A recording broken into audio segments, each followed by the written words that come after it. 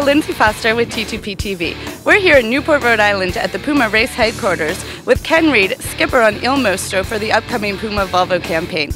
Thank you so much for being here with us today, Ken.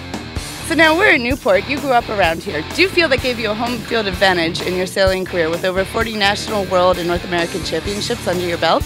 I think the advantage to, to living in the Northeast like this is you have obviously the ocean in the summer, but then we had other things to do in the winter. You know, my brother and I played hockey all winter, so sailing was really exciting for us. Whereas you could see with the kids from Southern California that by the time they got to college, you know, it just wasn't such a big thing.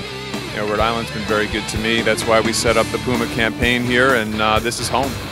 I grew up in a little different era. There wasn't really much of a professional sailing circuit. When I got out of college, uh, it was the spar makers or the boat builders or the sail makers were grabbing the better college sailors right out of school. Here's a J24, go win. You know, here's a Lightning, go win.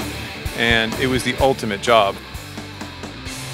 In 2008, you had a chance to campaign your own Volvo team for the first time. What was the most amazing experience about that?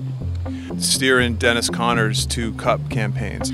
I learned a ton. I didn't mind people putting the finger to me that, hey, this didn't work, this guy screwed up, this, but I wanted to make those decisions that led to those either good times or bad times. I really, I like the camaraderie. I, I like putting the team together. And I think giving back to the sport, finding a company like Puma to, to come into the sport of sailing, it's just what this sport needs more of.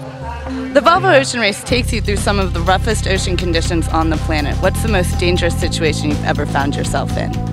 The leg from Singapore up to China was just hell on wheels. You knew the storms were there, you knew the, the Straits of Taiwan, the black current gales were there, how black the nights were and how big the waves were. To me, this is the pinnacle of the sport right now.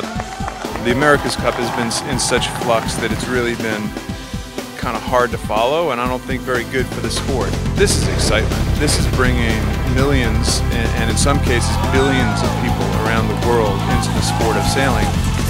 You don't get a sponsor like Puma or Berg thrown into your lap very often. So when you do, you better take it and run like hell. And I've done that. I enjoy getting out of bed and going to work every single day. Now you came in second in the last race. What are you doing differently to attempt to win this one?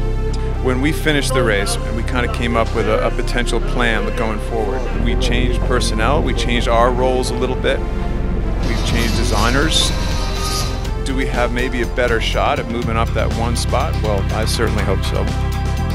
Well, we wish you the best of luck, Ken, in the 2011 campaign. Thank you so much for being with us today. For T2P TV, I'm Lindsay Foster. Thank you for watching.